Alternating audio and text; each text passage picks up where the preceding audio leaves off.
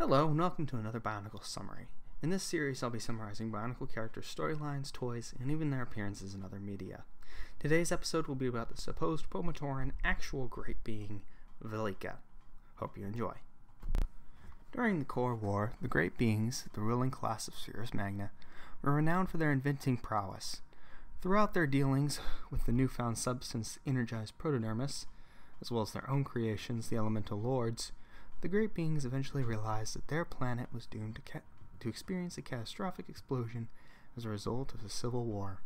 Though they disagreed on how to deal with the impending disaster, they eventually created a giant mechanoid named Mata Nui, who would repair the damage after observing extraterrestrial cultures and returning with the information. During the creation of the robot, the Great Beings created Tren Krom to sustain the universe before the robot was actually powered. To maintain the robot, the Great Beings created a set of diminutive workers known as Matoran. Now, this Great Being was curious about the robot's inner workings and how Mata Nui he would perform in his task. He announced to the other Great Beings that he would go into exile, so as to remove suspicions, then transferred his consciousness into the body of a Pomatoran, leaving his body somewhere in suspended animation, and entered the robot. He began using the Pomatoran's name, Velika, as a pseudonym, and did not use his true name in the Matoran universe because some of the earliest creations of the Great Being might have known their names, and he wanted his presence to remain a secret. He then began to observe the workings of the universe.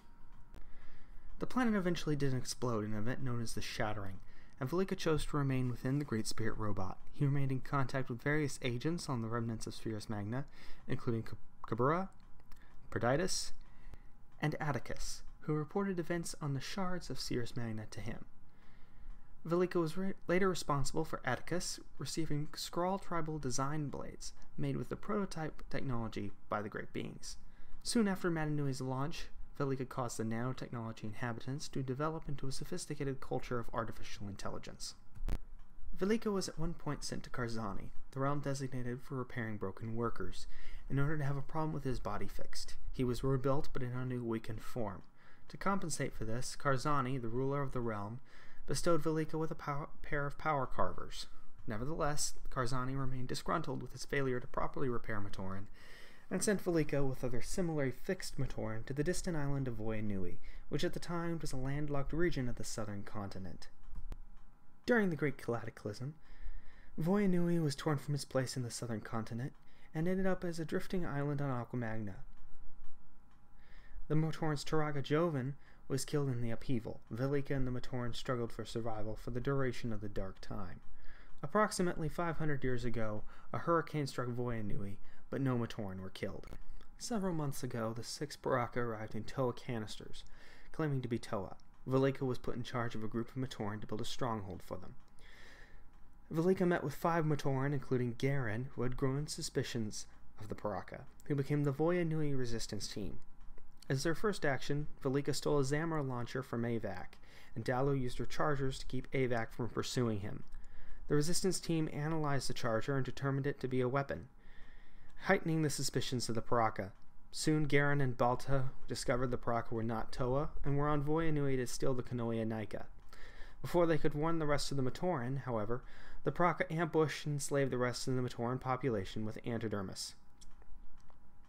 At some point, Velika discovered a pool of energized protodermis on the island and told the resistance team that the substance could free the Matoran from the slaving effects of antidermis. The resistance team sent Balta to steal a Zamor sphere from Vezok. While the group hid, waiting for Balta to return with the Zamor, they noticed flashes of ice and fire from a skirmish between the Toa Nuva and the Piraka. The Toa Nuva were defeated by the Piraka, who took their tools, and the Kanohi Nuva. The resistance team later encountered the Toa Nuva and treated them with hostility, having already been fooled by the Piraka. However, something that should be noted is that Velika was, for all intents and purposes, knowledgeable about what a Toa looked like. I mean, he helped build them. So, it does raise an interesting question on how he did not steer the conversation away from essentially all of this. I mean, he he knew the Piraka were Piraka, and he knew the Toa were Toa. He could have used this knowledge. I guess for some reason he figured his cover was more uh, more important. So, They battled the Toa Nuva before Balta arrived, bringing news that the six Toa Nuva were speaking the truth. The Toa and Matoran then joined forces. To recover the Toa Nuva's possessions, the group headed to the Piraka stronghold, to which they gained access by tricking Reidak into destroying the door. Reidak ran inside to warn the other Piraka, and the group infiltrated the stronghold. They were able to recover the Toa Nuva's Kanohi, Nuva, and Toa tools, and then challenge the Piraka. However, the Matoran and the Toa Nuva were knocked unconscious by the Piraka's new ally, Brutaka. Velika and the Matoran were then taken for the Piraka for questioning, while the Toa were taken by Brutaka.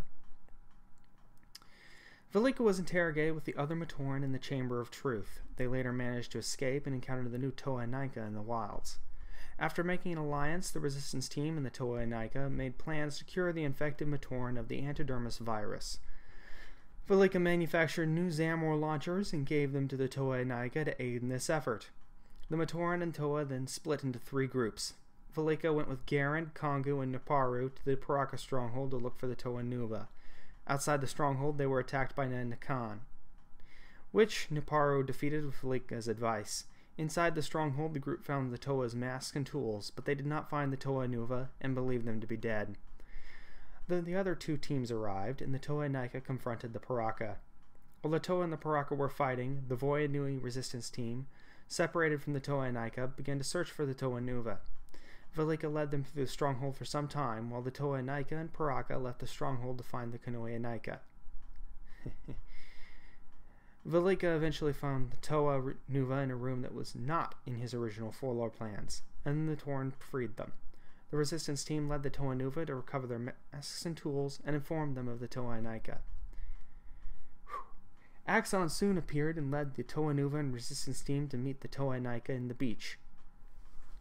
The Toa exchanged farewells before both teams finally left for different locations.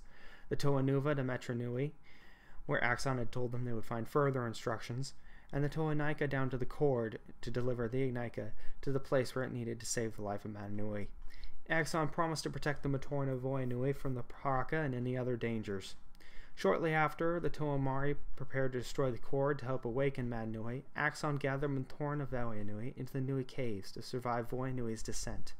They were joined by the Matoran of Mahri Nui, who had been gathered by the Toa Mahri, and taken up the cord. Velika and the Matoran were able to survive the descent safely, and then emerged to live on the southern continent yet again. Mata Nui died and was resurrected by the sacrifice of Toa Matoro. However, Teridax usurped control over the robot from Mata Nui and exiled Mata Nui into space. He ruled over the Matoran universe for some time before traveling to Bara Magna to defeat Mata Nui. In the course of the battle, Mata Nui killed Teridax and toppled the Great Spirit robot, rendering the Matoran universe uninhabitable. He then successfully restored Spherus Magna. At this point, Velika, with all the other inhabitants of the Matoran universe, migrated to the newly restored Spherus Magna. During his time as a Matoran, Velika, having concluded that the destruction of the planet was due to poor leadership by the Great Beings, developed a plan to seize control of Spherus Magna for himself. Part of his plan involved the killing of powerful Matoran universe inhabitants acting outside of their parameters, which might object to his rule. Velika defeated Lesovikk and stole his air sword, with which he killed Karzahni at the Iron Cannon, and extracted Tren Krom from his prison before murdering him in Bota Magna. Velika killed both in gruesome ways to inspire fear among the population, which he planned to use to ensure his acceptance as a ruler. Due to his alliance with Kabura, Velika knew about the Vorox on Bota Magna. Planning to use them as shock troops, Velika gave them sophisticated force blasters and a device capable of blocking Atoa's elemental powers. He also told them of regression and tragedy of the Bara Magna Vorox. Velika then directed them to capture and kill a group of Toa and Glatorian who were in the process of tracking down the Great Being to inform them of Spherus Magna's restoration. Velika also took advantage of an opportunity to take Axonn, Brutaka, Miserix, Tuyet, Helryx, Vezon, and Artakha out in one fell swoop, as they had gathered in one place, at the behest of an insane great being. He rigged the structure to blow, and then cra- began crafting a grave marker for his intended victims. The group of the Matoran universe inhabitants managed to escape, and unbeknownst to them, the cursed being escaped as well. Now, this is the end of the story, as of now. However, Greg has revealed a couple more things in his plans, including the fact that Velika might try to recruit the Elemental Lords as lieutenants to, to rule their tribes in his name, along with Velika hoping to make the Toa Nuva his allies in hopes that it would prevent a Matoran rebellion due to the respect and honor they possess. Interesting stuff. In the Kingdom alternate universe, the Great Being never chose Velika's body as a host, and as a result, he became a Toa. Furthermore, it's been deduced that the Great Being probably chose another Metru Nui Matoran in Velika's steed. In the melding alternate universe, he never had to go into hiding, and as a result was one of the six great beings who met Vesica and Voltraz. He was curious about Voltraz's alignment. As a result, he and the other great beings took Voltraz for study, giving Mazika a choice of anyone he wanted. Mazika, of course, chose the light Teridax and left. Velika, like other great beings, is quite arrogant, believing himself to be smarter than everyone else around him. He believes that the great beings were too weak in their governing of Spherus Magna and that the shattering could have been prevented. Somehow this leads to him wanting to control and rule Spherus Magna himself, and he is perfectly okay killing any of the Matoran universe inhabitants and innocents. He also believes that he's doing the right thing in all of this. While residing in the Matoran universe, Velika had a habit of speaking in riddles. The insight he provided through his riddles and fables helped many times in the liberation of Voya Nui. His team member Kazi, however, found the riddles and fables to be highly annoying, and this led to some very interesting banter between the two. Velika had a passion for creating and inventing, another trait of his original species, which translated into the job of a crafter and engineer in the Matoran universe. He was skilled with technology and created the multiple shot Zamor launchers for the Toa Inika, based on the design of a regular Zamor launcher stolen from the Piraka. Velika also had a hand in creating the Batteria, and may have also had a part in creating Marendar.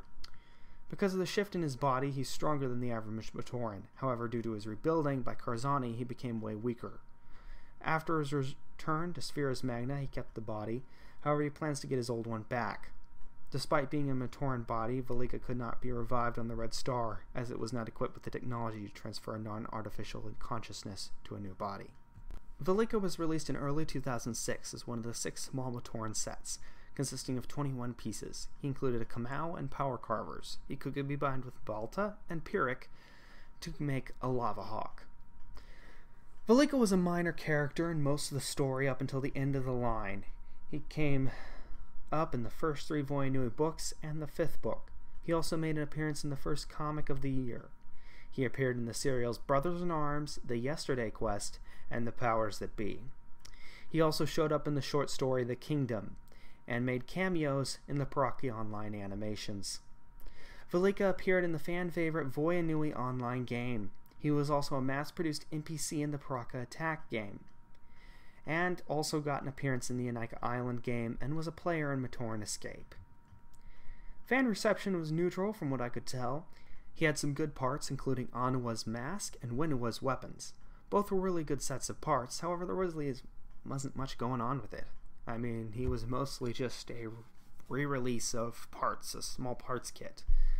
Velika is a small meme just due to him being a great being and hiding on the GSR. However, I personally wish his meme status was more in regard to his funny quips in the Voya Nui novels between himself and Kazi. Now, there's some nice trivia on Velika, as he was stated to be Greg Farshtey's favorite Matoran of 2006. Now, his original story wasn't really meant to be a great being. However, after the reveal that a known Matoran universe resident was actually a great being in disguise, Greg Farshtey held a contest on BZ Power for fans to guess the identity of this great being, popular candidates include Helryx and Kapura. The contest was abandoned after Farshtey was no longer able to update the story serials. However, he was later revealed through other means. So, whether he was originally just meant to be that fun, quippy Matoran, or he was actually a great being from the start, is debatable. Yeah. Oh, this is the end of the video. I hope you enjoyed that very long, painful process of me speaking out the entire backstory of this guy. Um, yeah, if you liked it, uh, feel free to subscribe, hit that like button, ring that bell because YouTube decided not to fix the subscription button like they should have. And uh, maybe support us on BitChute. That'd be great. Uh, adios.